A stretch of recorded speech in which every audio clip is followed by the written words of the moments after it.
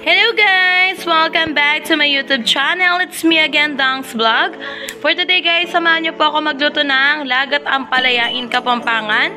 At sa Tagalog po, ayan, parang ginisang ampalaya with egg and kamatis, ayan. So, ayun na guys, para po hindi mapait yung ating ampalaya, pinakuluan ko muna po siya sa tubig. So, hayaan muna po natin siyang kumulo-kulo guys para matanggal ang, ang pait ng ating ampalaya. Tapos, nilagyan din po natin siya ng asin, guys. Ayan, kasama dun sa tubig para mawala po yung pait niya. So, ayan, guys. Bago ang lahat, bago nyo ako samahang magluto, mag-intro muna si Dance Vlog.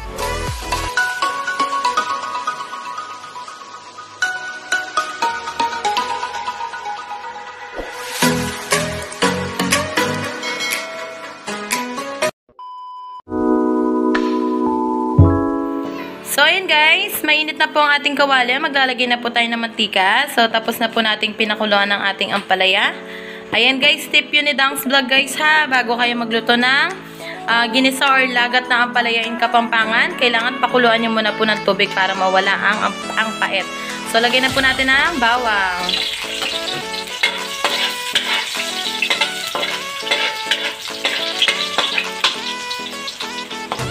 Then guys, lagay na natin yung ating sibuyas.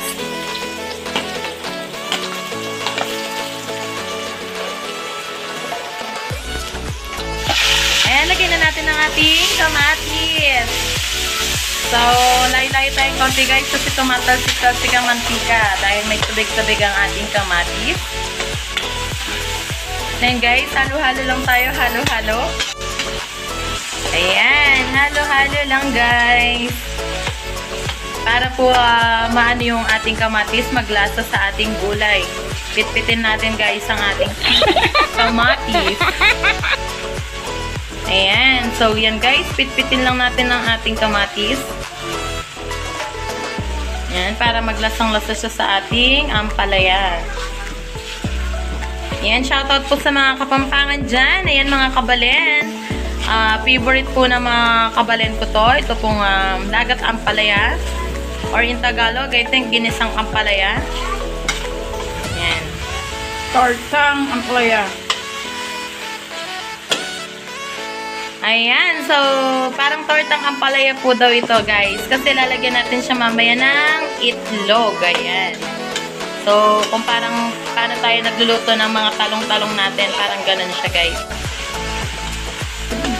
So, ayan guys. Luto na po ang ating ano, kamatis. So, na, ano na natin guys.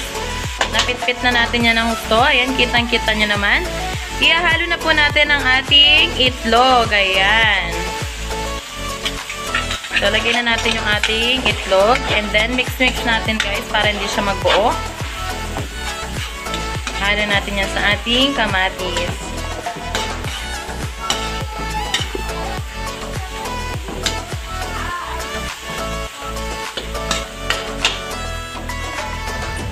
And then guys, lalagyan na natin ng ating ampalaya. Ayan. So, tinan nyo guys, oh, parang nawala na talaga yung pait niya kasi pinakuluan natin siya sa tubig na may asin.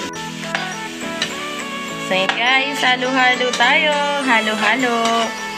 Kasi guys, pag di natin yan hinalo, matutuyo yan sa ilalim yung ating itlog. Tapos, ilaw na natin yung heat natin. Ayan. At ihahalo na natin ng ating pampalasa.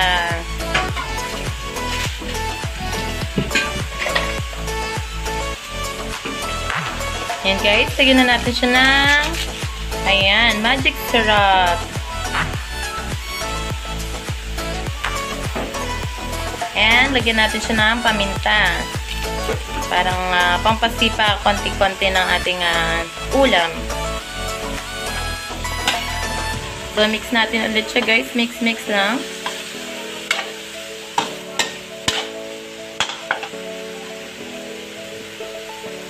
Lagyan natin siya ng konting asin.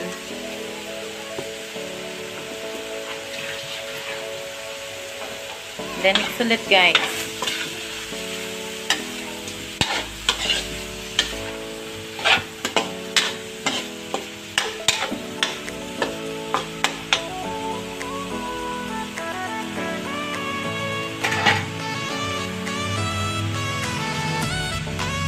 Yan guys, masarap to guys kapag ano, medyo half cook. So takpan na natin siya guys. Ayan. Ang liit po ng aking ano guys, panagip. Ayan. Kunyari natakpan guys ha. Ayan. O diba?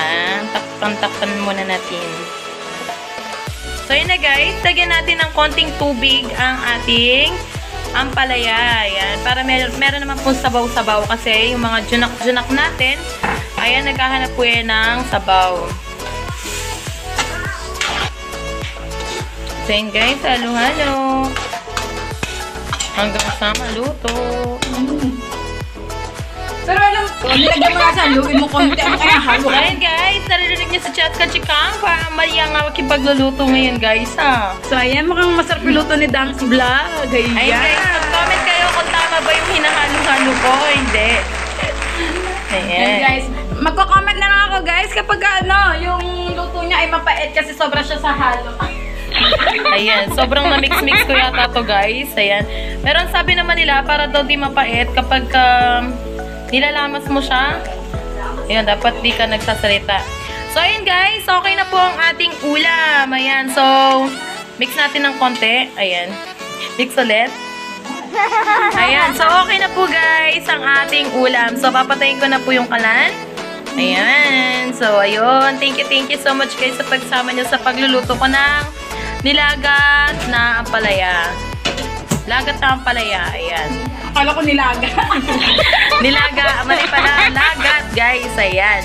Lagat na pala So, ayun guys. Kain-kain na po tayo. Ito na po ang aming dinner for tonight with matching uh, uh, some, uh, some food pa. Ayan. Salamat po.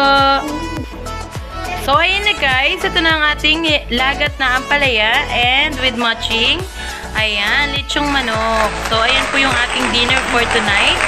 So, maraming maraming salamat po sa inyo guys sa pag-watch po ng aking medyo epic na vlog. Ayan. So, takam na takam na ako guys. Gusto ko nang kumain.